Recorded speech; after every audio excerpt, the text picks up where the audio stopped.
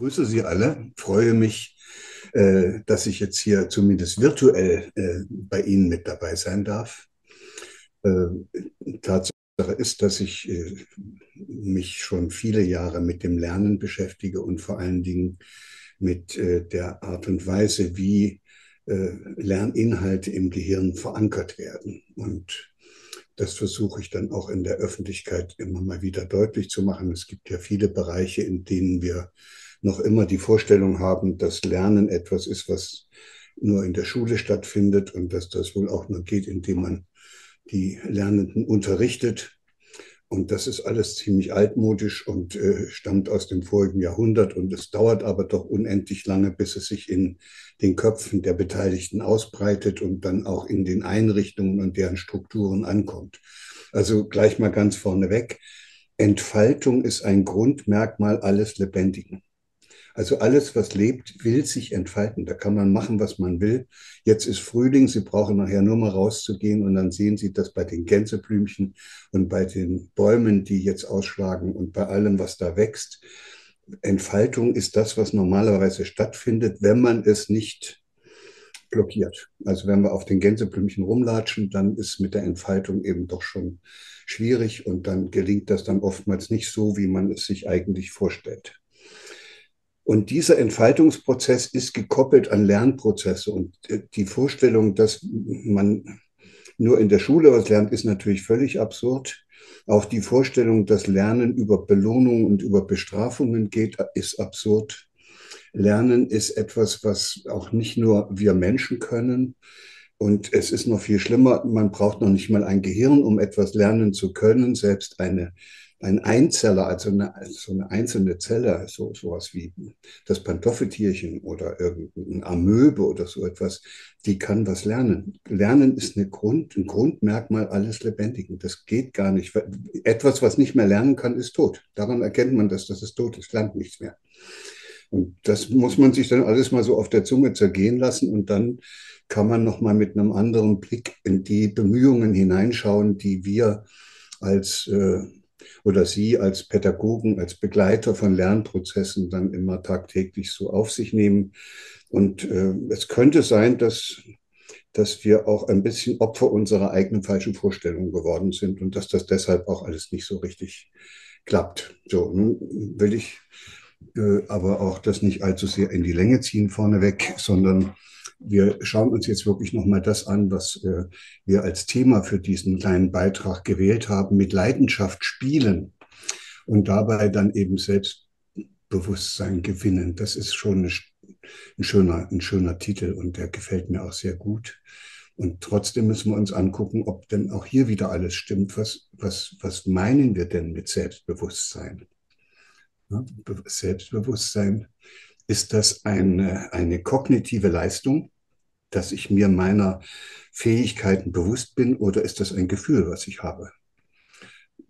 Und, und da werden Sie merken, dass der Begriff Bewusstsein da eigentlich gar nicht so der richtige ist, weil der doch zu sehr darin tendiert, dass man das so sich bewusst macht, also kognitiv bewusst macht.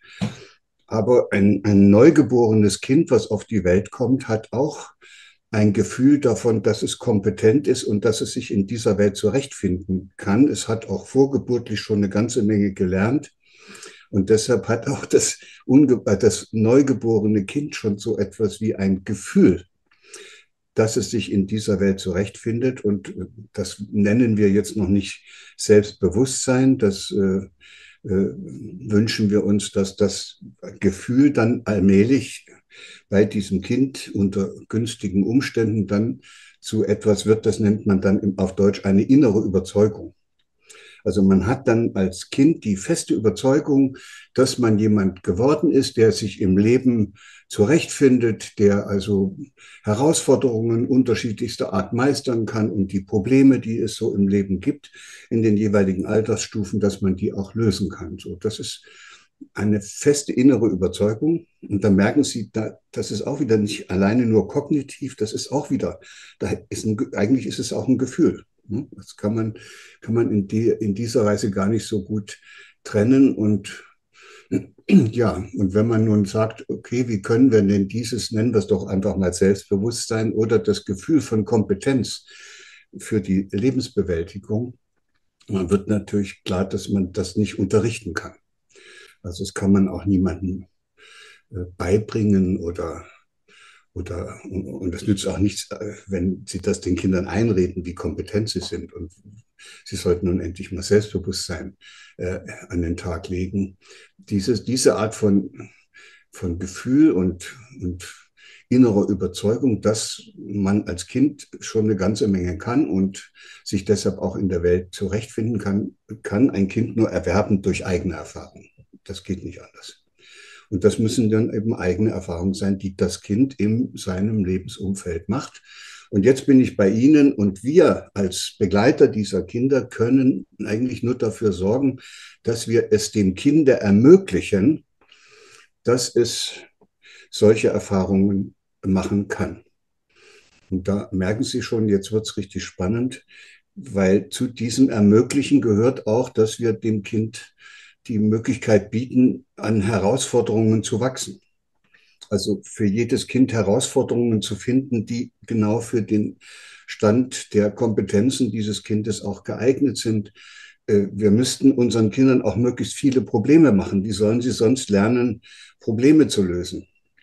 Also es ist das Schlimmste, was einem Kind passieren kann, dass es äh, unter Bedingungen aufwächst, wo es keine Probleme hat. Also bei diesen sogenannten Helikoptereltern, die versuchen, dem, ihren Kindern alle Probleme aus dem Weg zu räumen. Wir sind als ganze Gesellschaft so eine Gesellschaft geworden, die keine Probleme mehr haben möchte und versuchen das natürlich auch alles so zu gestalten, dass es keine Probleme mehr gibt und machen uns aber nicht bewusst, dass wir diese Probleme brauchen und dass vor allen Dingen Kinder solche Probleme brauchen, weil sie sonst nicht lernen können, wie das geht, wie man die löst.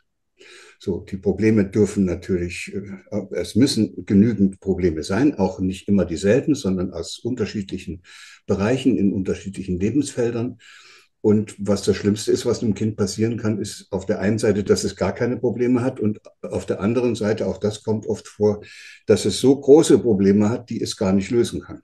Also es gibt immer wieder Situationen, wo wir Kinder in Situationen bringen, die sie nicht bewältigen können, die für sie zu viel sind. Also Eltern beispielsweise, die mit ihrem Leben unzufrieden sind. Eltern, die ihre Partnerschaft nicht geregelt kriegen und die dann den Kindern deutlich machen, wie unglücklich sie sind. Eltern, die nicht gerne arbeiten und nach Hause kommen und sagen, so eine Maloche, das ist ja furchtbar. Eltern, die, ja, die sozusagen ihre eigenen Probleme haben und die dann auf die Kinder übertragen und das Kind in eine Situation bringen, wo es eigentlich doch Mama oder Papa oder auch die Erzieherin helfen möchte, weil es merkt, die ist nicht richtig glücklich.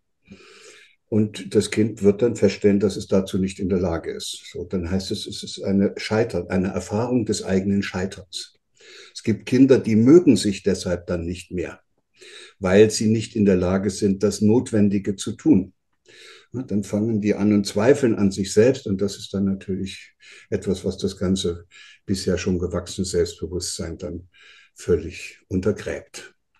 So, und wenn man also als Ermöglicher sich um Kinder kümmert und Kinder begleitet, dann äh, wird man auch versuchen, immer wieder Kinder einzuladen und zu ermutigen und zu inspirieren. Das sind eigentlich die drei großen äh, äh, Ansatzpunkte, wie man Kindern äh, helfen kann, sich die äh, Kompetenzen anzueignen, die sie brauchen, damit sie dann später das herausbilden, was wir Selbstbewusstsein nennen. Und das heißt, wir müssen den Kindern Gelegenheit geben, selbst herauszufinden, wie was geht. Das, jeder, jeder Versuch, denen das zu erklären, wie das ist, und es zu beschreiben oder es ihnen, vor, ihnen, ihnen selber zu machen und einzugreifen in ihren eigenen Prozess, äh, unterminiert diese Möglichkeit und beraubt das Kind regelrecht der Möglichkeit, dass es selber herausfindet, wie etwas geht. Ja, und, und dieses Herausfinden, wie etwas geht, das ist Lernen. So, und das machen sie alle.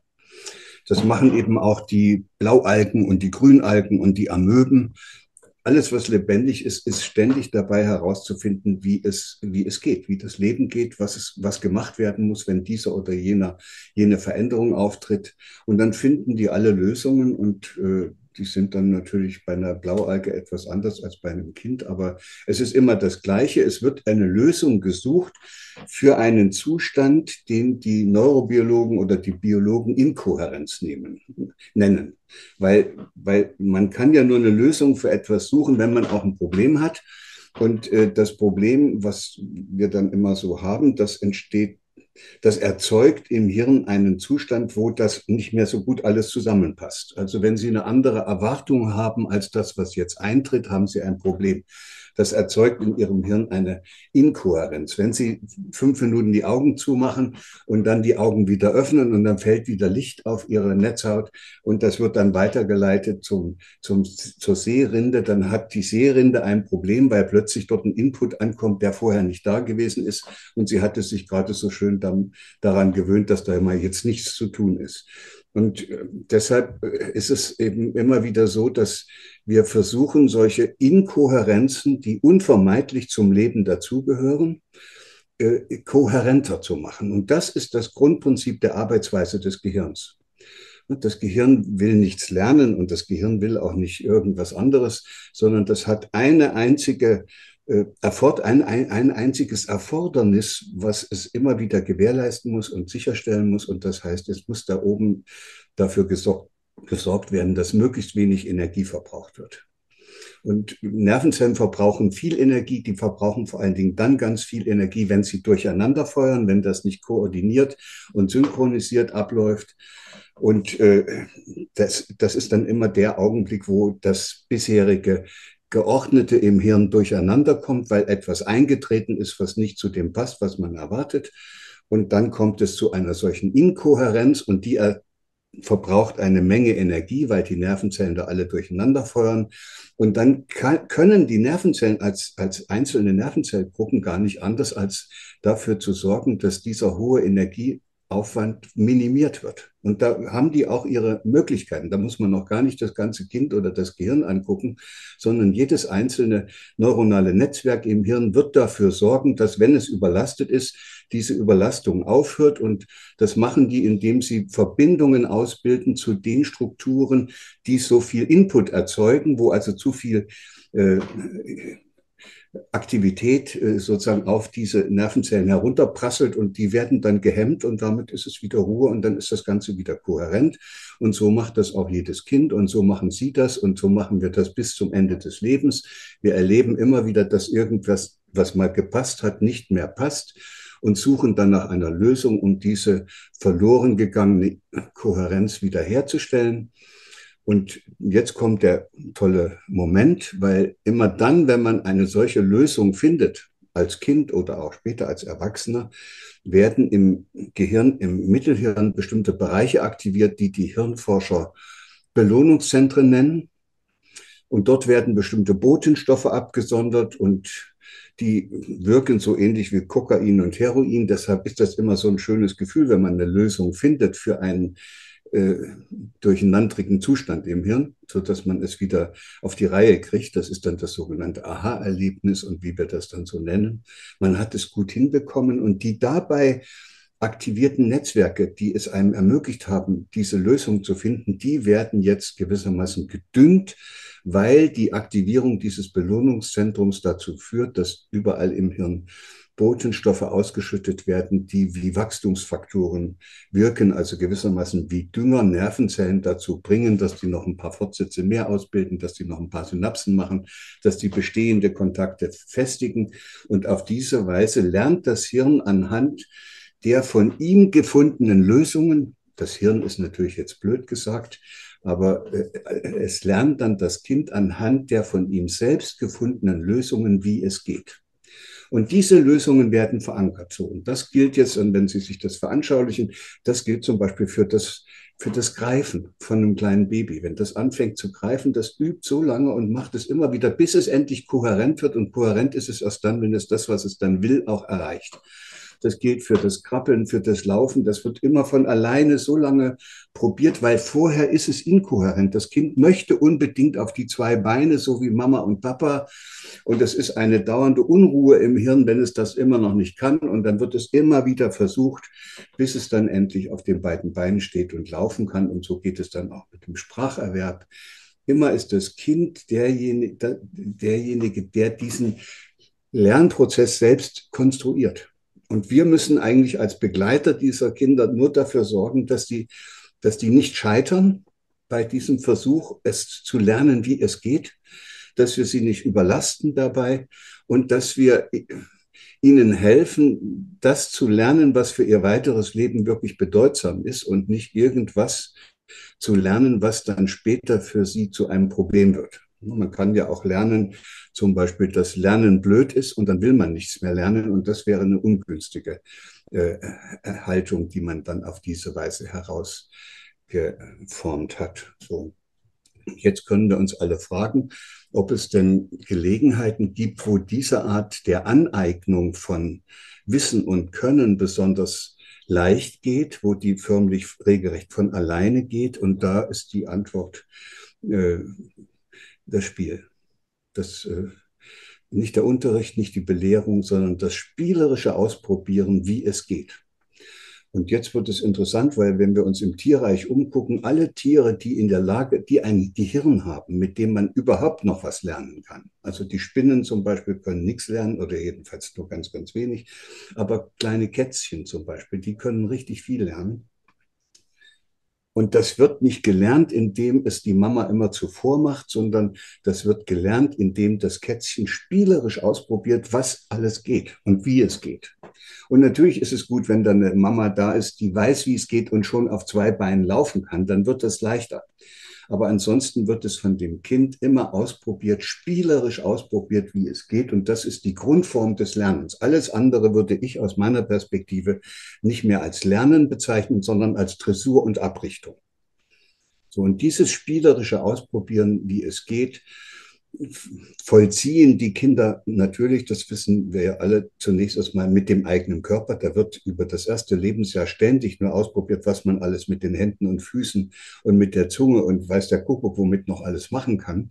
So lernen sie ihren eigenen Körper kennen und erwerben eine Repräsentanz, für die für die, für die neuronalen Netzwerke, die dann erforderlich sind, um die eigene Bewegung zu steuern. So, das Hirn strukturiert sich sozusagen anhand der aus dem eigenen Körper kommenden Signalmuster und deshalb spielen alle Kinder so unglaublich gern äh, in, im Bereich de, de, des sich Bewegens und probieren ständig spielerisch aus, was noch alles geht und und äh, das sieht dann für uns manchmal äh, eigenartig aus, weil die dann natürlich auch Bewegungen ausprobieren, die uns ganz nutzlos vorkommen.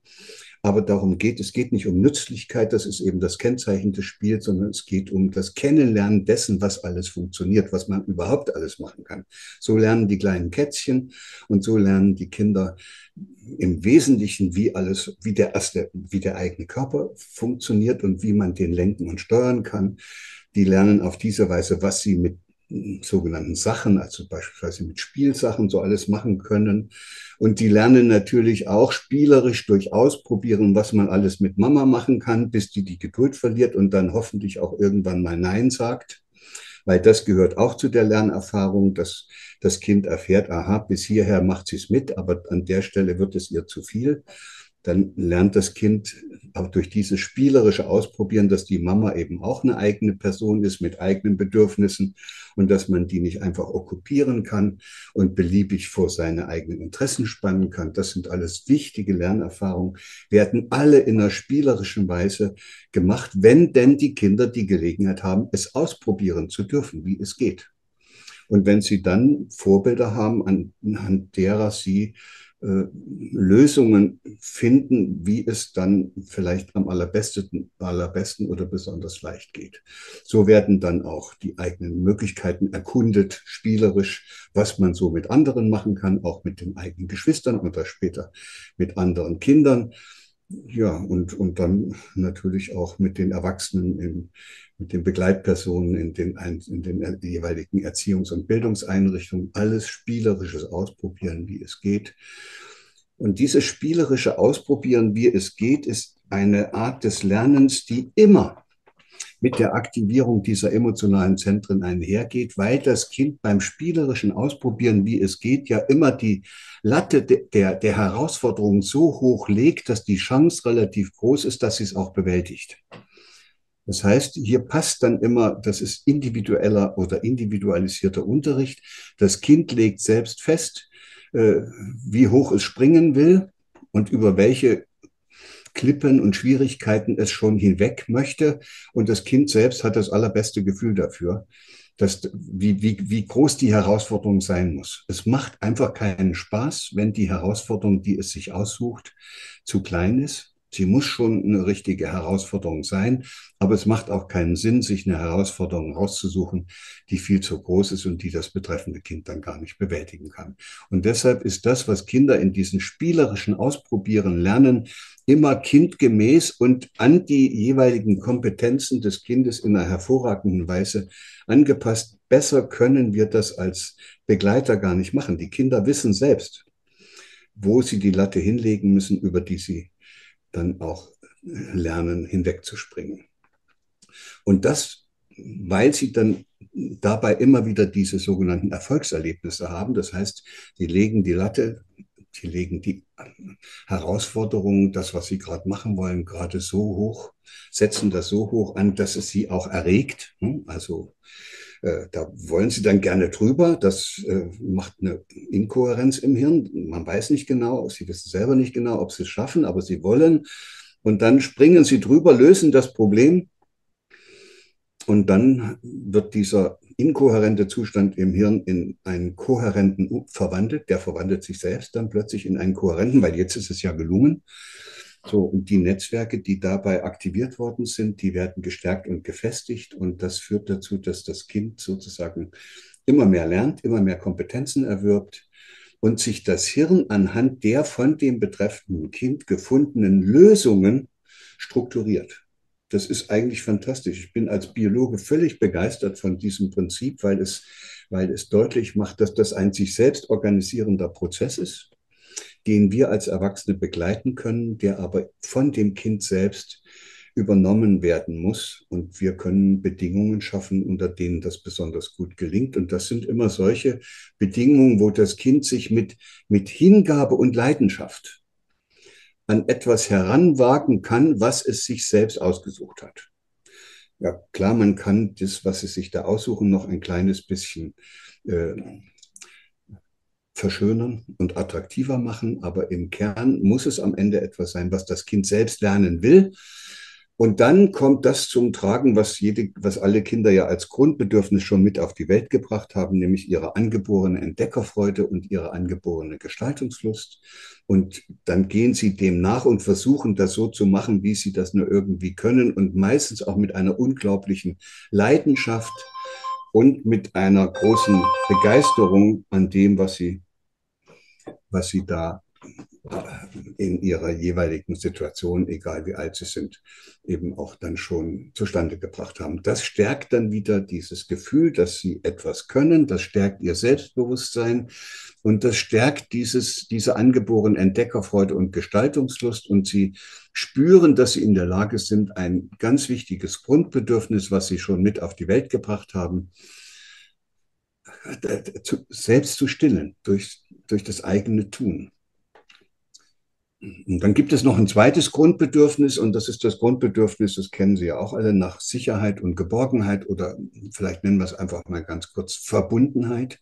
Und wir sind soziale Wesen. Die Kinder waren neun Monate aufs engste mit einer anderen Person, mit der, mit der Mutter verbunden und, und wenn die auf die Welt kommen, ist das als tiefe Erfahrung im Hirn verankert. Auch das war ja eine Lösung. Und deshalb erwartet jedes Kind draußen auf der Welt nicht nur, dass es das wiederfindet, was es vorgeburtlich schon gelernt hat, nämlich dass es da immer wieder Herausforderungen gibt, die man meistern kann. Und damit äh, geht es dann mit dieser Entdeckerfreude und Gestaltungslust in die Welt. Es hat auch die Erwartung, dass es da draußen Menschen findet, mit denen es dieses, dieses Gefühl von Verbundenheit wiederherstellen kann. Dafür ist ja auch von der Natur aus ganz gut gesorgt worden. Das geht bis dahin, dass da eben sogar bestimmte Hormone wie das Oxytocin dieses, äh, dieses Verbundenheitsgefühl in der Anfangsphase, was da entstehen muss zwischen Mutter und Kind, nochmal zusätzlich unterstützen, indem im Hirn unter der Wirkung dieser Hormone bestimmte Netzwerke aktiviert werden, die dann besonders geeignet sind, um so komplexe äh, Phänomene zu erlernen, wie, die, wie das Aussehen der Mutter, den Duft der Mutter, das, den, den, den, die Gesichtszüge und so. Und das, da, da, braucht man, da braucht man dann noch ein bisschen Unterstützung. Die liefert die Natur mit Hilfe solcher, nennen wir es mal, äh, bindungsfördernder Hormone. Und, äh, und wenn das so wäre, dass jedes Kind diese beiden Grundbedürfnisse immer stillen könnte, nämlich einerseits diese Verbundenheit erleben dürfte und dieses tiefe Gefühl, dass es so, wie es ist, richtig ist, dass es so, wie es ist, gemocht wird und angenommen wird.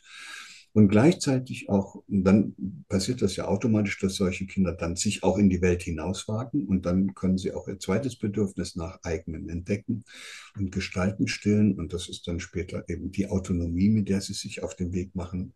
In unserem Alter nennt man das dann Freiheit. Wir wollen alle, auch wir in unserem Alter, immer noch möglichst eng verbunden sein und möglichst frei sein gleichzeitig. Und Sie wissen, dass das leider in unserer Gesellschaft nicht sehr vielen gelingt.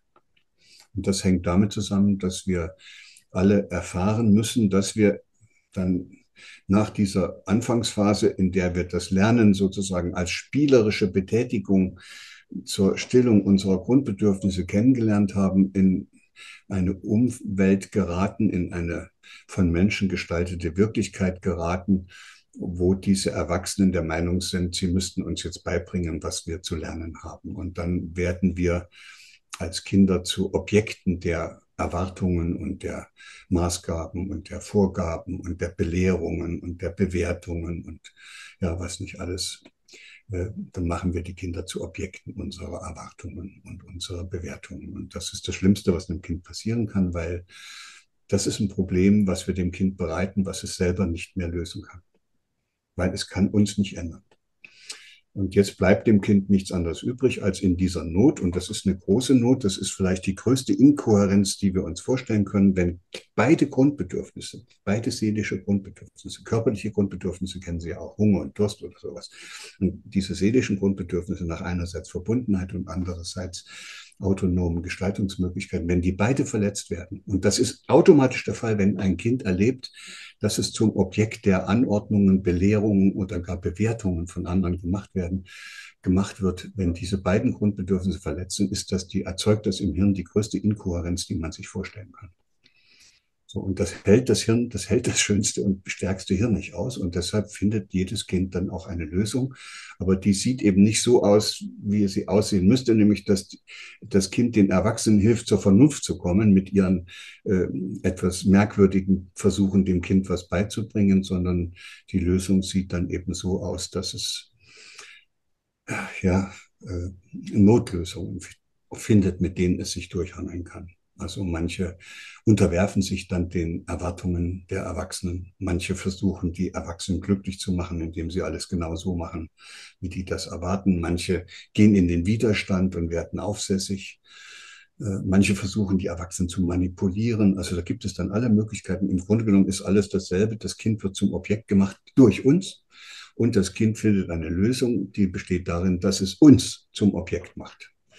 Und äh, wer das nicht kann als Kind, der kann sich dann auch noch selber zum Objekt machen und sich selbst einreden, es sei zu blöd, es könne kein Mathe, es könne nicht singen, es sei nicht schön genug, es sei nicht liebenswert genug. Und da ahnen Sie schon, was das für eine schwierige Situation ist, in die sich Kinder dann selber bringen mit solchen in Anführungsstrichen Lösungen, weil jetzt wird das Leben wirklich schwer. Jetzt mögen sie sich selbst nicht mehr, sie mögen auch die anderen nicht mehr. Und das macht das alles schwer und dann ist äh, es mit der spielerischen Leichtigkeit im Leben vorbei. Und dann wird nicht mehr spielerisch ausprobiert, was alles geht, sondern dann wird mit Verbissenheit versucht, diesen Schmerz loszuwerden, den man hat, wenn man nicht dazugehören darf, so wie man ist, wenn man nicht so angenommen wird, wie man ist, wenn man dauernd gesagt kriegt, was man noch zu tun und zu lassen hat. Und das ist dann etwas, was mit Spiel nichts mehr zu tun hat. Und leider ist eben auch der Begriff Spiel in unserer gegenwärtigen Welt auch in so eine Schieflage geraten, weil es sehr viele Spiele gibt, die eigentlich nichts weiter machen, als Kindern die Gelegenheit geben, zu zeigen, dass sie die Besten sind und dass sie besser sind als andere. Das sind eigentlich Wettkämpfe, das sind keine Spiele. Und da wird auch nicht spielerisch ausprobiert, wie was geht, sondern da will man gewinnen und den anderen schlagen. Und äh, da müssen wir uns nochmal überlegen, ob wir das in Zukunft tatsächlich Spiel nennen wollen. Das, was der Neurobiologe sagen kann, ist, dass ja, das, das spielerische Ausprobieren, wie es geht, der Königsweg ist, wie ein Kind herausfinden kann, worauf es im Leben ankommt und wie es bestimmte Dinge machen muss, damit es in der Lage ist, sein Leben zu bewältigen. Das führt dann dazu, dass das Kind sich selbst mag, dass es dieses, wie wir das hier am Anfang genannt haben, Selbstbewusstsein herausbildet, dass es auch offen bleibt, seine Freude am Lernen nicht verliert. Und wenn wir das schaffen könnten, dann wären wir einen ganzen großen Schritt weiter. Und Sie merken, ich rede da jetzt überhaupt nicht über die Zustände an unseren Schulen. Ich rede eigentlich nur darüber, was wir als Begleiter der Kinder verstehen müssten, damit wir die Kinder anders anschauen können. Das war die halbe Stunde, die ich Ihnen versprochen habe. Ich habe es sehr verdichtet, aber äh, vielleicht äh, ist es doch anregend genug, dass man jetzt mit, dass wir miteinander jetzt in eine interessante Diskussion, in einen interessanten Austausch kommen können. Ich bedanke mich erstmal bisher virtuell für Ihre Aufmerksamkeit, die ich auch nur virtuell erlebe. Danke. Ja, Herzlichen Dank, Herr Ritter, für diesen wunderbaren Vortrag. Ich bin auch gespannt, wie, äh, wie geht es Ihnen äh, hier im Publikum, ob vielleicht Fragen, direkte Fragen gibt oder Kommentare, äh, die Sie an Herr Hütter richten. Ähm, ich springe doch mal gleich in die Erwachsenenwelt, weil wir da ja schon festgestellt haben, äh, Sie haben es ja auch gesagt, dass äh, sehr oft das Phänomen leider doch auftaucht, dass Menschen Lösungen, die sie mal gelernt haben, nicht wieder in Frage stellen wollen, dass sie eben nicht die Freude am Lernen, es könnte auch irgendwie anders gehen, ich will nicht mein Verhalten variieren, so irgendwie auftreten. Ähm, dass also die, wir doch immer wieder dieses Phänomen halt haben, ich will jetzt nicht ins Politische gehen, aber dass man gar nicht mehr über eine andere Lösung nachdenken will und glaubt, dies eine, was man gefunden hat, muss man immer weiter penetrant nur weitermachen. Haben Sie da Erfahrung, wie man so eine Nuss knacken kann? Was haben Sie für Vorschläge, wenn man da halt einen Menschen halt, der nicht belehrbar ist, doch wieder zum Lernen bringen möchte? Äh, deshalb habe ich Ihnen das mit dem Energiesparen gesagt.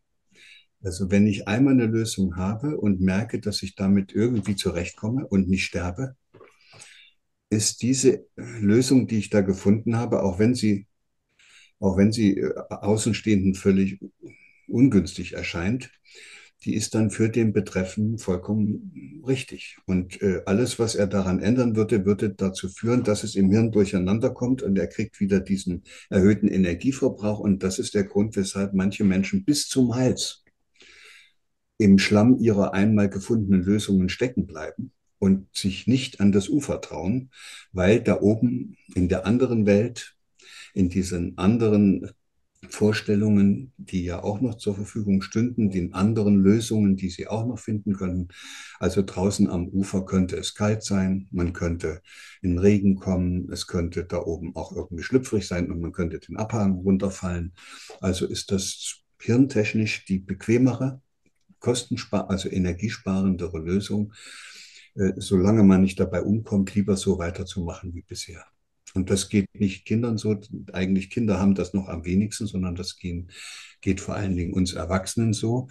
Und ich habe dafür dieses Bild des sich Verwickelns in seinen eigenen Lösungen. Also das, diese Lösungen sind ja immer Vorstellungen und diese Vorstellungen tragen wir dann mit, sich, mit uns rum, verwirklichen die, bis wir dann am Ende uns mit unseren eigenen Vorstellungen identifizieren und aus dieser Selbstidentifikation mit den selbst gefundenen Vorstellungen und Lösungen, da kommt man nicht so ohne weiteres wieder raus. Das ist dann zum Teil hoffnungslos verwickelt. Also da gibt es viele Menschen, die sitzen sozusagen, weil sie alles richtig machen wollen und weil sie immer gut funktionieren wollen. Das ist jetzt die Verwicklung der Vorstellung und die sitzen am Ende in einem Hamsterrad und drehen sich und drehen sich und verlieren dabei sämtliche äh, Lebendigkeit, aber sie funktionieren, weil das war das Einzige, was sie wollten.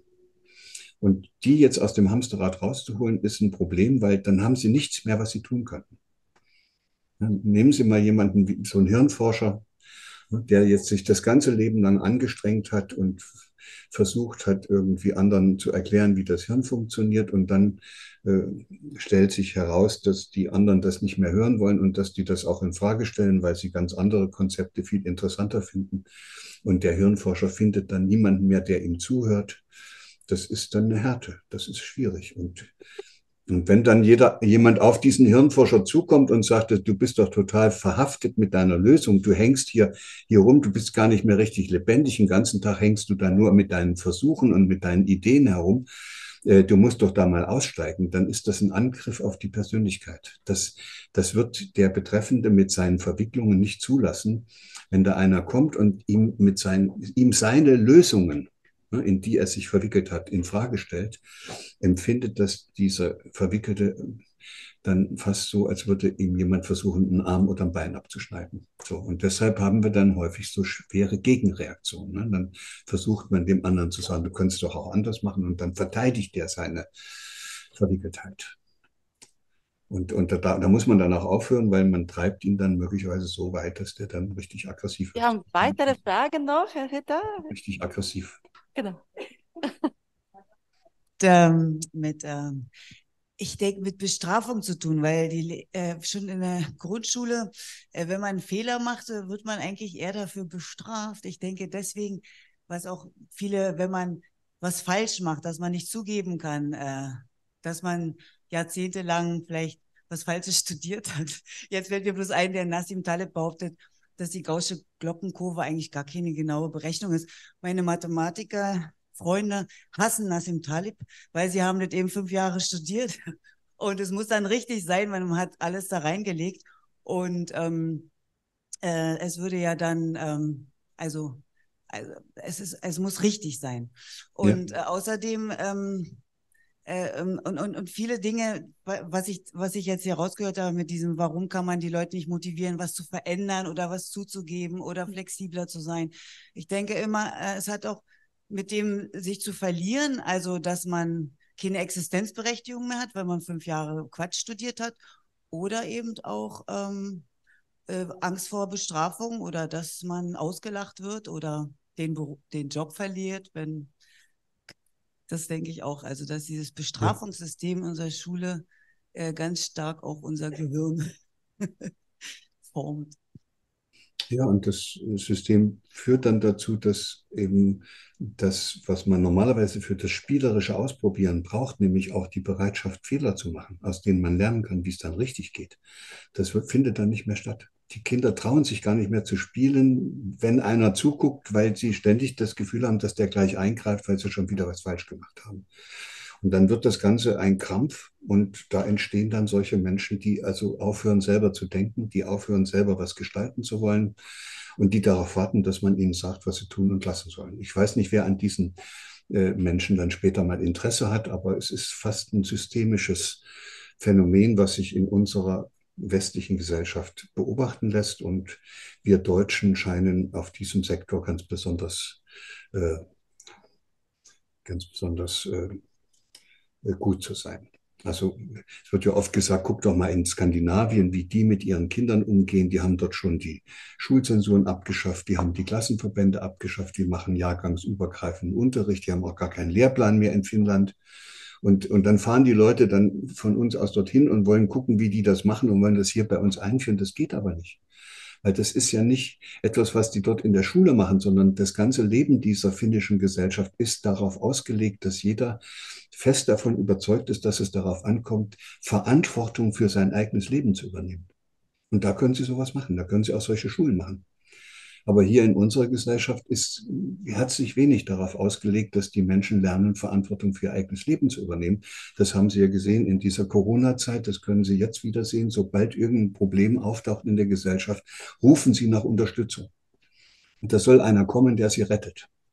In Amerika das Gleiche. Der Herr Trump soll sie dann retten oder der Herr Urban. Das ist, das ist eine Blütezeit natürlich für Autokraten und deshalb ist das eigentlich im Grunde genommen extrem gefährlich, was wir da im Moment machen. Aber wir machen es eben schon lange und vor uns haben es ja auch schon viele Generationen gemacht mit selbstbewussten, äh, mit selbstbewussten Menschen, die aus der Schule kommen, hätte der, der Nationalsozialismus keine Chance gehabt.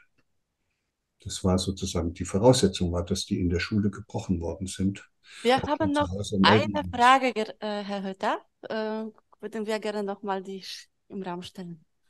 Ich habe gar nicht so eine große Frage. Ich wollte mal sagen, es gibt vielleicht auch ein paar Low-Performer, die ganz glücklich sind mit ihrem Leben, die vielleicht ein bisschen verstrickt sind, aber vielleicht für sich selber noch ähm, immer hin und wieder eine kleinere Herausforderung finden und dann auch diesen wunderbaren Botenstoffaustausch, ähm, äh, äh, also Botenstoff Ausschuss haben und dann auf mal sagen, wow, war ja super, ich habe es heute doch geschafft, bis zum Briefkasten selber zu gehen und nicht meine Frau geschickt. Also ne, solche Menschen darf es geben und das finde ich auch sehr gut. Mir geht es nochmal darum zu gucken und das finde ich ganz wichtig zu gucken, ähm, wie ermöglichen wir den Kindern und auch Jugendlichen ein gutes Aufwachsen und indem wir denen nicht ähm, unsere Normen und Werte direkt ausstülpen und eben halt sagen, dieses, dieses explorative Verhalten, was an vielen Stellen ganz oft auch bewertet wird, weil es nicht in mein Denkschema, in mein Muster passt, vielleicht auch nicht in meine schön geputzte Küche, aber es ist da. Und ähm, wie kann man da eine gute Koexistenz finden? Und da würde ich gerne, mir wurde es gerade einfach auch nochmal, auch gerade mit dem, mit dem, mit dem mit dem Bezug nochmal zum Dritten Reich, mir wurde es gerade sehr schwer. Ich finde Spiel etwas sehr Positives und ich möchte das gerne hier auch sehr positiv haben. Das heißt nicht, dass ich das anders wahrnehme, aber ähm, es heißt ja auch immer, bei dem Kind müssen die Grundbedürfnisse erstmal erfüllt sein, damit es mit Spiel die Welt entdecken kann. Ein Kind, was permanent Hunger hat, ein Kind, was dem immer kalt ist und so weiter, das kommt oft nicht zum Spielen, weil es hat ganz andere Probleme, ganz andere Sorgen. Und ähm, deswegen finde ich, eher zu gucken, wie können wir die Welt von Kindern und Jugendlichen, und ich nehme Jugendliche da unbedingt auch mit rein, auch akzeptieren mit ihrem So-Sein und wie können wir denen auch die Möglichkeit geben, ein exploratives Verhalten weiterhin zu leben und leben zu können. Und ähm, ich würde einfach gerade nochmal wieder so ein bisschen, bisschen mehr positiven Drive. Ja, das ist, das, da bin ich Ihnen eigentlich sehr dankbar. Ich will hier keine, ich will hier keine, keine äh, schlechte Stimmung verbreiten. Äh, nur es ist mir eben dann schon wichtig, dass all das, was ich hier beschrieben habe, sehr eng damit zusammenhängt, dass wir in einer Gesellschaft leben, in der wir uns gegenseitig zu Objekten machen. Das können wir gar nicht vermeiden. Das ist schon in den ganzen Abhängigkeitsstrukturen so. Der Kunde und der Käufer und der Verkäufer, der Lehrer und der Schüler und der Vorgesetzte und der Mitarbeiter, das sind ja alles Objektbeziehungen im Grunde genommen. Und äh, es ist kein Wunder, dass die sich dann auch bis in die Kindererziehung runterziehen und die, die, Kinder schon sehr früh alle lernen, wie man, dass man, dass sie zum Objekt gemacht werden. Und äh, dann haben Sie vollkommen richtig gesagt, dass es welche gibt, die das noch einigermaßen gut lösen für sich. Und dann gibt es welche, die daran zugrunde gehen. Das ist auch richtig. Und ich habe eigentlich die größte Angst vor denjenigen, die sich sehr erfolgreich an die Erwartungen anderer anpassen, weil die sich am stärksten verwickeln. Und wenn man dann eine sehr lange Zeit sehr erfolgreich in dieser Gesellschaft mit einer verwickelten Vorstellung unterwegs ist, dann kann man die gar nicht mehr loslassen. Dann muss man damit wahrscheinlich auch sterben. Und Aber noch eine Meldung. Ja, ich, ähm, mir fehlt, ich denke, ein, ein Lösungsansatz oder ein Weg wäre dieses zweite Grundbedürfnis nach Verbundenheit, nach gehört und gesehen werden. Bei Kindern, Jugendlichen und Erwachsenen, jetzt vor allem nach dieser tragischen Corona-Dispens von jeder Beziehungszeit, äh, wieder mehr zu forcieren, den Menschen zuzuhören, äh, ihre Geschichten zu hören.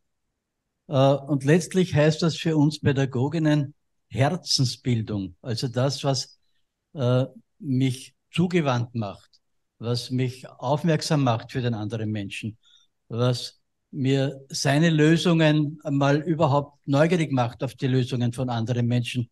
Äh, vielleicht ist der andere dann auch interessiert an meinen Lösungen. Aber ich glaube, dass das Wichtige ist, was wir wieder forcieren müssen, Beziehungsaufbau und Beziehungsmöglichkeiten zu geben, äh, Gespräche, den Dialog wieder in die Welt zu bringen. Der ist verloren gegangen. Da bin ich Ihnen sehr dankbar. Das hätte ich jetzt eben zu der vorhergehenden Frage als positiven Ausblick auch noch hinten dran gehängt. Äh, ja, das ist aus meiner Sicht auch der einzige Weg. Wir müssen unseren Kindern das Gefühl geben, dass sie so, wie sie sind, von uns bedingungslos angenommen werden. Es gibt so eine wunderbare Definition der Liebe. Liebe ist das bedingungslose Interesse an der Entfaltung des anderen. Und das ist pädagogische Kunst, dass man ein bedingungsloses Interesse, egal wie der Schüler ist und was, wie komisch der einem vorkommt und wie sehr der einem auf die Nerven geht, dass man trotzdem alles dafür tut, dass der sich entfalten kann. Und da merken Sie, das lernt man nicht in pädagogischen Hochschulen. Und das ist auch nicht mit Professionalität äh, sozusagen zu ersetzen, sondern da müssen Sie die Schülerinnen und Schüler mögen als Lehrer. Und da würde ich sehr dafür plädieren, dass wir uns gegenseitig helfen, äh, wie also zu lernen, wie man jemanden mögen kann, obwohl man ihn nicht leiden kann, obwohl er einem auf die Nerven geht. Also wie kann ich beispielsweise, äh, nee, ich will jetzt keine Beispiele bringen, wie kann ich jemanden, den ich nicht mag, wo ich auf, sofort auf Ablehnung gehe, wie kann ich das schaffen, dass ich den doch mag? Und da heißt die Antwort, wir müssten alle lernen, in dem anderen nach etwas zu suchen, was wir mögen. In jedem Menschen ist, wenn wir uns auf ihn einlassen, irgendetwas verborgen, was man mögen kann. Und da reicht es aber nicht zu dem anderen einfach nur, wie Sie sagen, eine Beziehung zu haben. Beziehung hat auch ein Vater, der sein Kind schlägt zu dem Kind, sondern da muss man bereit sein, dem anderen von Subjekt zu Subjekt zu begegnen.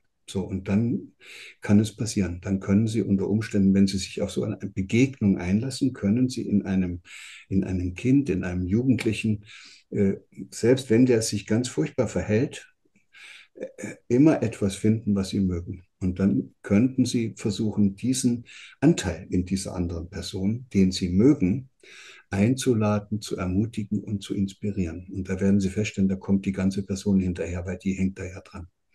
Sie müssen nicht alles mögen, aber wenn Sie irgendwas finden, was Sie mögen, dann kommen Sie in die, mit dieser anderen Person in eine Begegnung. Und deshalb äh, glaube ich, werden wir in Zukunft in der Pädagogik auch in diesen Bereichen, über die ich hier gesprochen habe, wohl das Lernen tatsächlich wieder seinen ursprünglichen Charakter als spielerisches Ausprobieren, wie es geht, zurückgewinnt, werden wir das nur in einer Welt äh, umsetzen können, in der wir wieder gelernt haben, äh, ja, aufeinander zuzugehen und Interesse, bedingungsloses Interesse äh, an einander zu haben, nicht weil wir neugierig sind, sondern weil uns die Entfaltung des anderen am Herzen liegt. Das ist eine andere Welt, über die ich hier rede, das weiß ich sehr wohl. Aber ich bin fest davon überzeugt, dass wenn wir das nicht schaffen, wir auf diesem Planeten keinen Platz mehr haben werden.